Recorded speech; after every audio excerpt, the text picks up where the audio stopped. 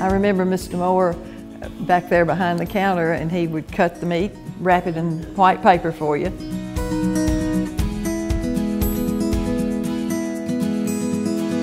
Miss Steve, I don't want to put you on the spot, but but does your mother and daddy know that you were there? Sometimes, yeah, no.